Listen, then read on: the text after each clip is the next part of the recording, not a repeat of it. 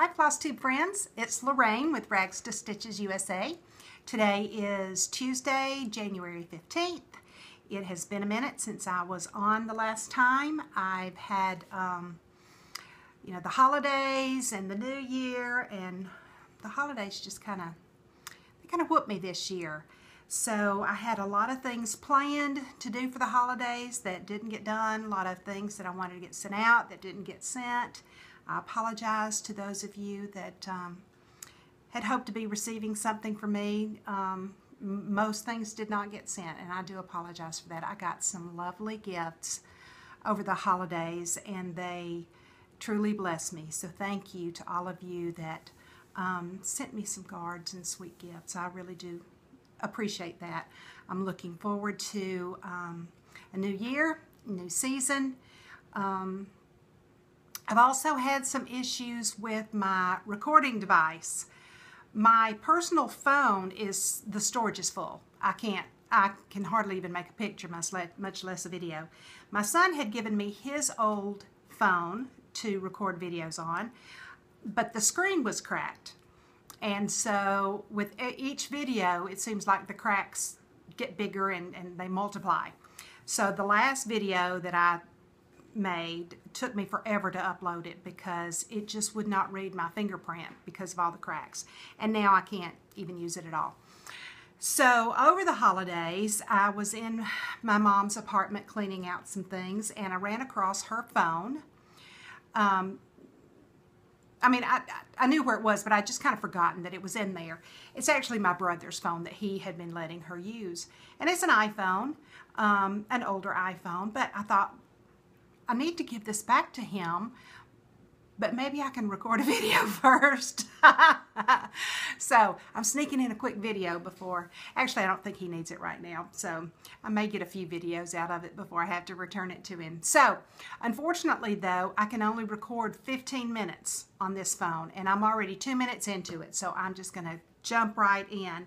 Um, Farm Girl um, has you know, now that I want to talk about it, I can't think of the name, what it's called, Stitch 9 Challenge or something.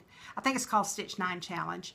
Um, I will try to put a description below and link link it below in the description. I'm not very good at that, but I will try.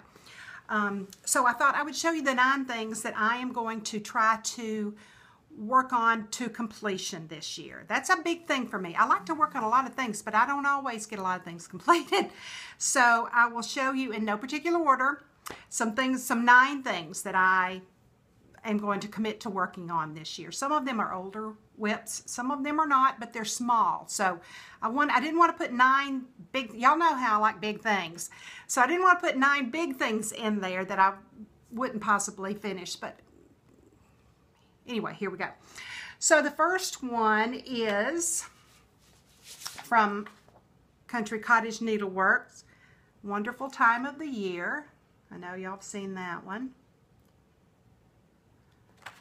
I have just a little start on it, but it's kind of small, so it shouldn't take too long to work on that one. Um, I don't have a whole lot of smalls, but, and even though it's not Christmas, I'm still going to work on it. it. I may wait until later on in the year to work on this, but this is one of my nine. I said they're in no particular order. So that is one. Sorry about that. The second one y'all have seen in my videos many times. And I think the last time I showed this, I said, I'm going to work on this this weekend and get it finished. Well, I didn't. Um, I don't even think I worked on it at all since I last showed it in my video. It is Summer School House by Brenda Gervais. This is just the first one. I do want to do all of them. But for the time being, I'm going to concentrate on getting this one done. And this is where I am on that. Not a whole lot left to do. And it really is fun. It's just, um, since I'm stitching over one, I have to be in a place with um, good lighting and a place where I can use my magnifier. Um, and I'm not always stitching in places where I can do that. So anyway, that is number two. Number three is a chart that um, Susan Richardson, who owned a cross stitch shop in Marietta, Georgia, um, designed this chart um, before she passed away.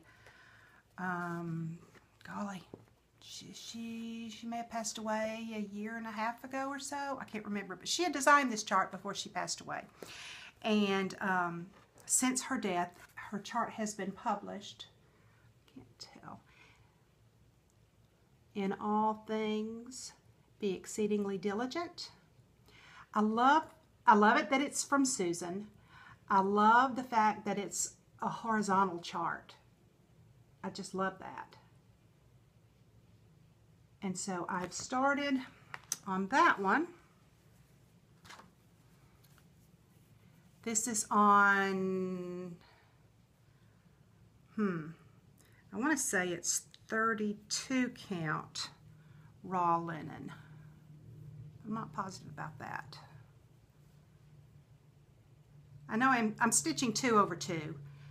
I'm not, I really prefer to stitch with one floss, one strand of floss because um, I didn't know about railroading until floss tube. And so that's something it's taking me a while to get in the habit of doing because I want my stitches, now that I know about it, I want my stitches to look as neat as I possibly can, but it's, to me, it's, it's much slower. Um, and so it's something I really have to be conscious of doing. So I prefer to stitch with one. But I want to say this is um, uh, 32 count. Yes, it is 32 count. So anyway, that's due diligence from Susan. Um, here's one that I started. Hmm, I, it may have been, I don't know when I started this one. Pumpkin Spice Farm, my hands-on design. Cute little pillow. Very little start, but it's a start. I don't know what I'm stitching this on. It was a piece of, uh, just a scrap piece of fabric that I had. I don't even, I can't even tell you the count. But um, anyway, that one is Pumpkin Spice Farm. Okay, the next one we moved into our house um, about seven years ago. And um, I don't know, a year or so later, I was trying to look through some boxes to find some of my cross stitch things, and I ran across this sampler that I had started, but the chart wasn't with it.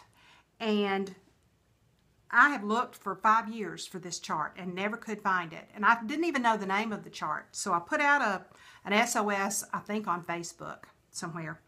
And um, Sweet Beverly texted me back. She knew, not only did she know the name of the chart, but she had the chart and she was willing to send it to me from Canada. Bless her. And so now I have the chart. It's Sarah Monday sampler from Threads of Gold. Um, this is my little working copy here. It's it's a it's a horrible picture. I know you probably can't see a lot. It looks very faded. And y'all, my sam this this sampler has been folded up in a box for many years. And it's got a stain, a big old stain on it over here. See that lovely stain? But I was stitching this all in DMCs, so I'm hoping that I'll be able to wash that and get that stain out. But this is how far I've gotten on it. So it's not a it's not a piddly little start. I, I'm probably halfway finished maybe with that. I've still got the bottom half to go. So I'll show you again. I've done most of the words, so now I'm down to the motifs. So this I probably started, oh mercy, I don't know when I started this a decade or more ago, I know. So this may be one of my oldest WIPs. So I'm anxious to, to get that. I haven't touched it. I haven't sewn a single stitch since Beverly sent this to me. So I'm anxious to get started back on that. Another moldy oldie um, is this folk art sampler by Mad is it imaginating? Yes. And the date on the sampler is 2007. So it's not, I don't think it, this is not nearly as old a WIP as, as the um, Sarah Monday. But I had, I had this chart and then I um, found this chart in a thrift store not long ago.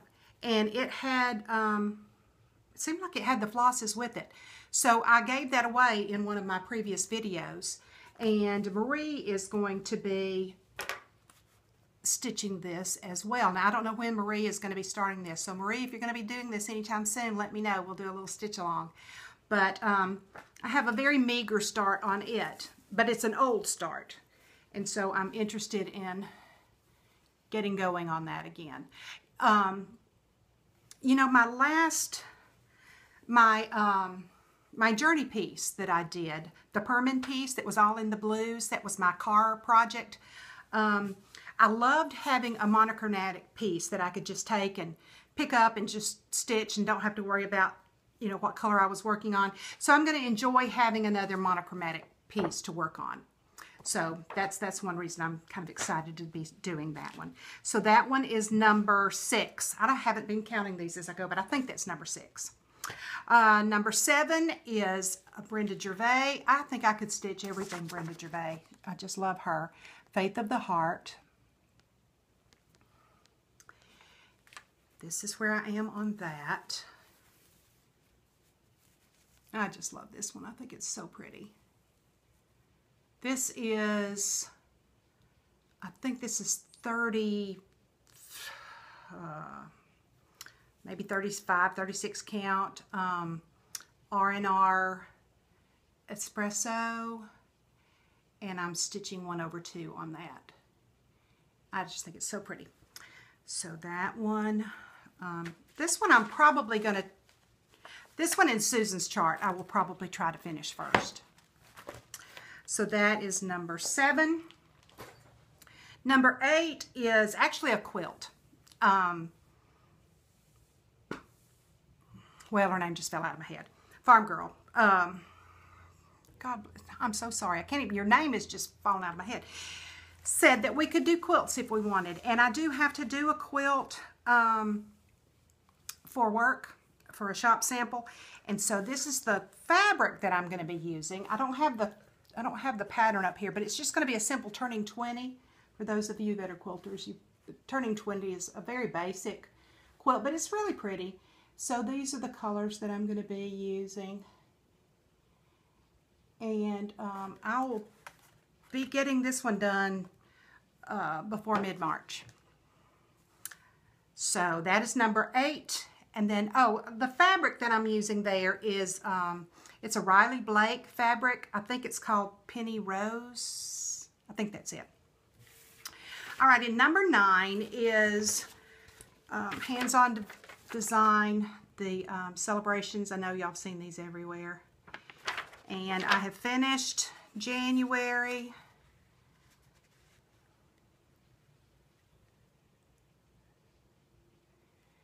And I have finished February. I've got it just lapped around um, a coaster. Just, it's not even on there straight, but anyway, I was just kind of getting an idea of what it was going to look like when it got finished. So that's February. So I will be finishing all 12 months of the of the hands-on design celebrations.